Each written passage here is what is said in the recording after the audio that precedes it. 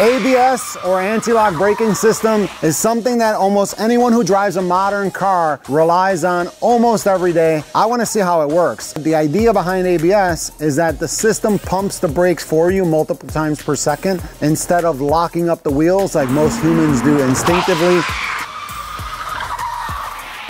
Most of the time, these systems are working without us even knowing it, especially in the newer cars where the resolution is really high. And that is the exact subject that I'm gonna be diving into in this video. With the high-speed camera, I wanna see how these ABS systems work visually. And for this experiment, I'm gonna be using three different cars from three different eras, a 94 Supra, 2006 AMG, and a 2021 Tesla. And that is what we're gonna do right now.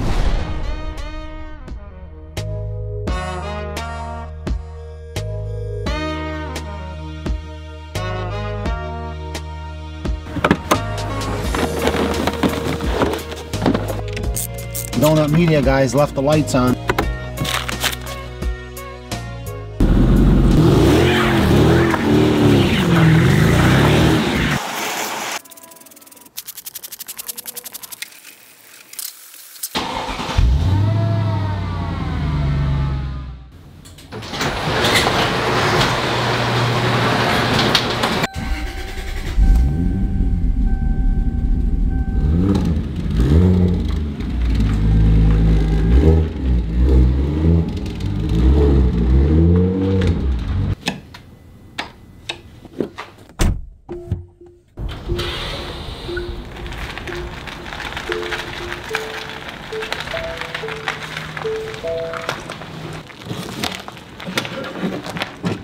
I'm gonna start out doing a test from older to newer. So I'm gonna start out with the 94 Supra.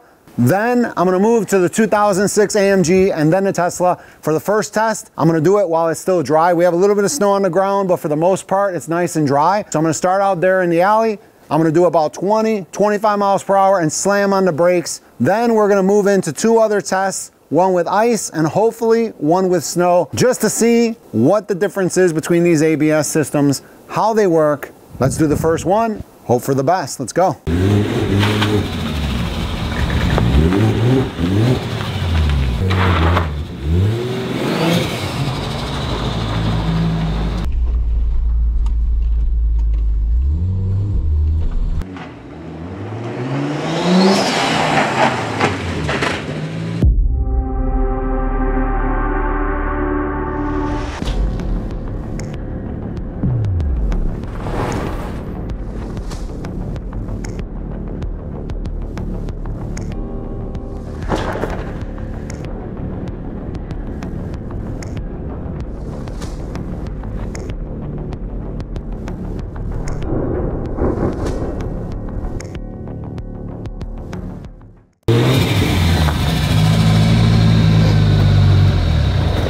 All right, so we tried our best with that test, but the one thing I noticed is that, yeah, the resolution of this ABS is not as good as I thought it was. The left side is getting more pulses than the right, but I could actually count them. I never paid attention in the past. Let's see what happens with the other cars.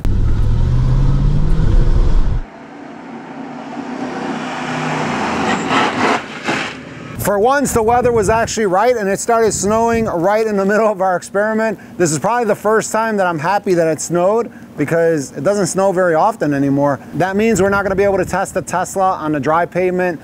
We're just gonna have to move right into the snow and ice, but it's perfect timing because that was my next experiment, what the ABS does on ice and on snow and while driving in the snow. This is not a good winter car.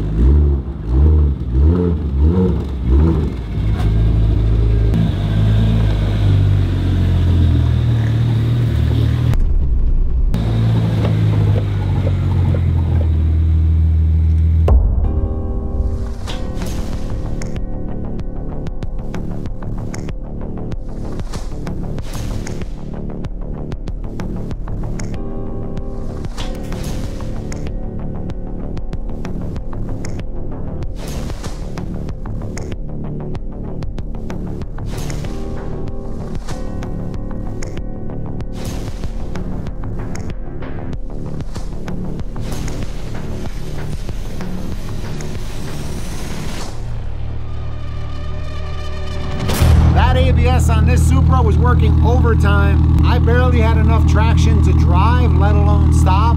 So that was 100% ABS. All I did was come up to the spot, slam on the brakes. I overshot it a couple times. That's how little traction I have. Looking at the high-speed footage, you can clearly see the pulses of the system when it's working. And I almost feel like this system works better than the Mercedes.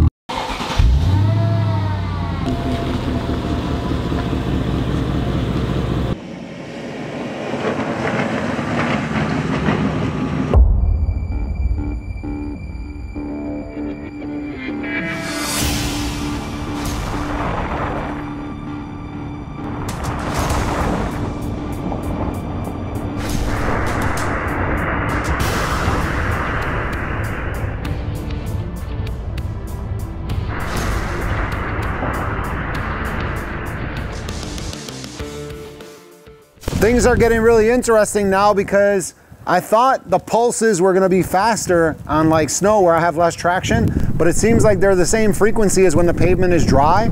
But to me, it looks like somebody's just pumping the brakes and locking them up and then letting up on the brake and pumping it again, sort of slowly. It's not as fast as I thought it was gonna be. I don't think the Tesla does that, but what I'm thinking is it depends how much traction you have. Maybe if it has a little bit more traction, the pulses are longer, Let's pull the Tesla out next, try this test with the Tesla and see what it does. Even though I have summer tires on this thing, it's much better in the snow.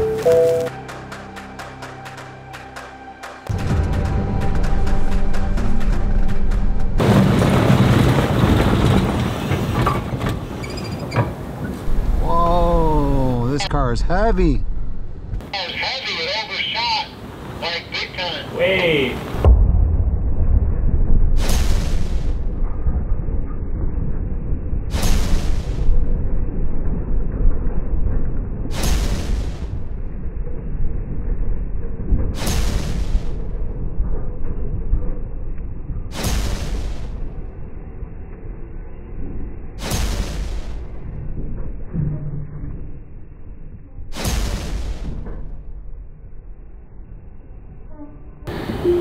Okay, so that was really interesting.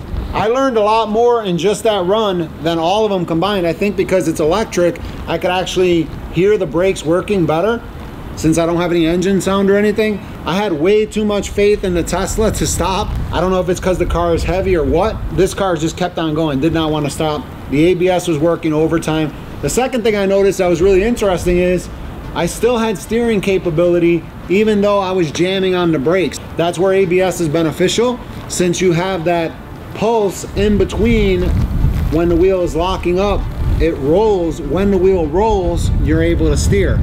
So that makes a lot of sense. I think I realized why I thought it was pulsing so much faster than it is. It's because I hear all four wheels pulsing at the same time. And if we take the pulses from one wheel and multiply it by four, then it sounds like it's pulsing a lot faster than it is. That makes a lot of sense. And now that we got quite a bit of snow, we're gonna throw down some water, make a nice sheet of ice, do all three of these one more time real quick, just so we can see what happens.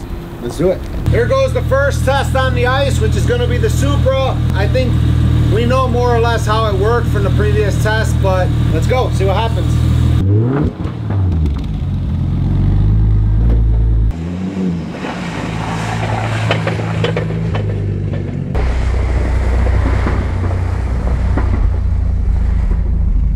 going faster that time and the pulse width was about the same. So let's move on to the next car. Next is gonna be the Mercedes, then the Tesla.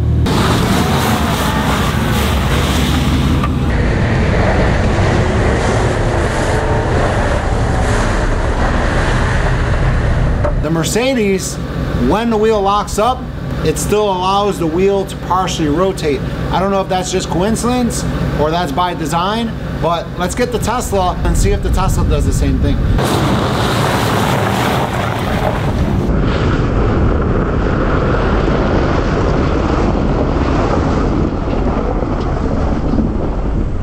You tell me what you think, but I think the Tesla actually had shorter pulses. I really thought that that stuff with the ABS happened way faster than it does.